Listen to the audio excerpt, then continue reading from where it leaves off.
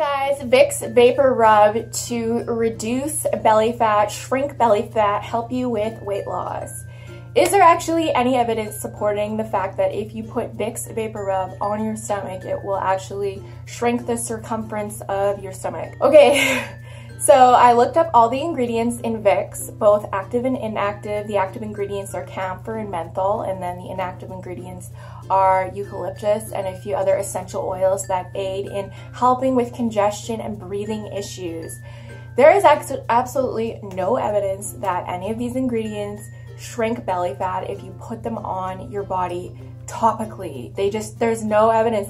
I'm not saying that it wouldn't, that th there's absolutely no way. I'm just saying that there's no actual studies that say yes, putting this on my on your belly is going to reduce your fat. And if I were looking for a way to reduce my belly fat, I would want to be using that time and energy into something that I know for sure works and I know for sure has been proven in a scientific setting. Obviously, diet and exercise are the number one ways for you to reduce your belly fat, hands down. There are just countless, endless, so many testimonials of people who've just gone to simply cutting junk food out, eating healthy, being active, and this all works to shrink your belly fat. It's just the laws of weight loss, you know, calories in, calories out, and yeah.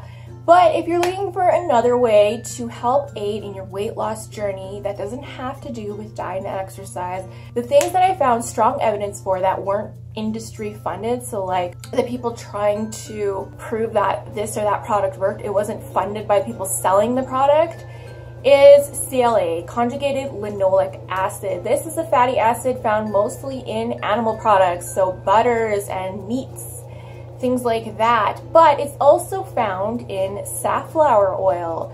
So people have found through studies that if you apply a cream with CLA in it, they had women put it on their thighs and it reduced the circumference of their thighs and it also improved the appearance of cellulite. This was done over an 84 day period, so I'll show you some before and afters of what CLA cream can do topically.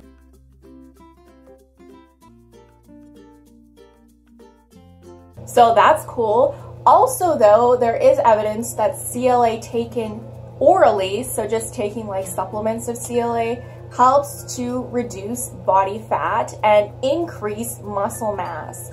And there is evidence for that. They did a study with people who took it for a whole year. Then they factored in diet and exercise and they found that yes, CLA does help to reduce body fat. So that is one option that you can take that is backed by research and science to help you shrink your body fat. I could not find any creams with CLA on the market. All I found were supplement forms of CLA.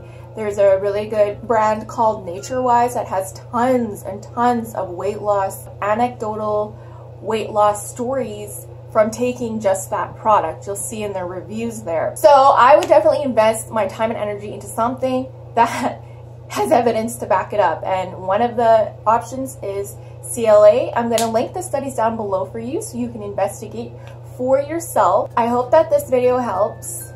Please, please, um, if you're still really gung-ho on the Vicks Vapor Rub, go ahead, give it a shot. I mean, maybe it will work. But, you know, look into CLA too. Okay guys, I hope that you enjoyed this video and it helped. Thanks for watching. I'll see you in the next video. Bye.